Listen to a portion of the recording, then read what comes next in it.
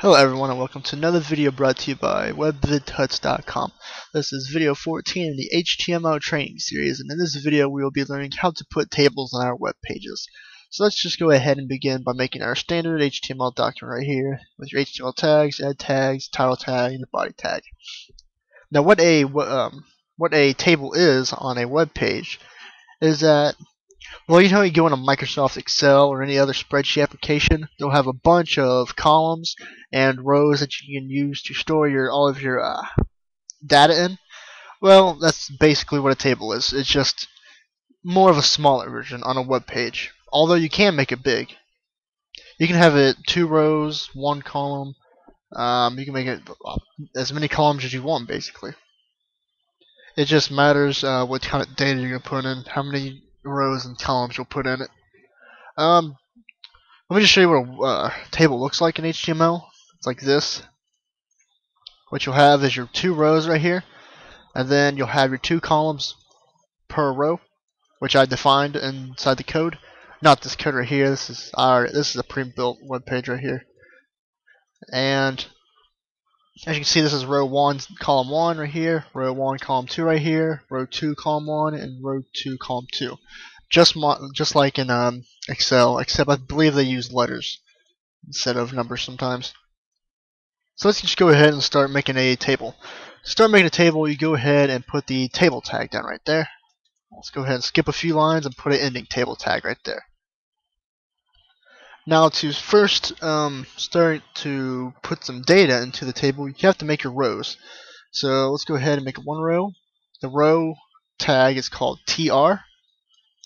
And then let's go ahead and a couple lines and make a ending tr tag. And in between the tr tags, you always, always, always have to make at least one column right here. There's a uh, the column tag is td. You have to make an opening and then a closing column tag. And now in between the column tag, you can finally start um, inputting your data or information. Like this is some, let's put example text, even though I spelled it completely wrong. If you go right here and run it, it'll make your table. But wait, the table's not showing up. That's because we did not we didn't put a border around it. So it's just holding data right now, nothing special. So if you go ahead and make a border right here, it will actually put a border around the data. Now let's say I want to put another column in this row. All you do is go ahead and put some more column tags right there.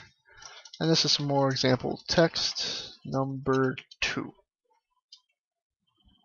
So now this row has two columns now. And let's say we want another row.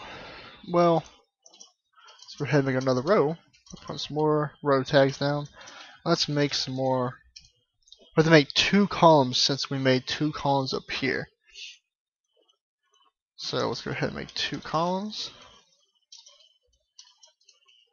If you'll make two columns, then the table will it'll work, but it'll be messed up looking.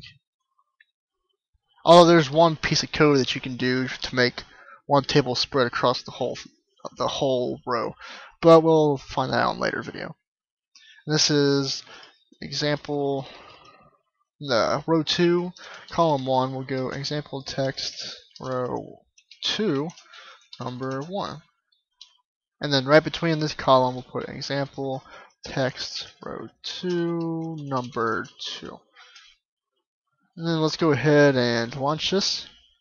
And as you can see, we have another row and two more columns.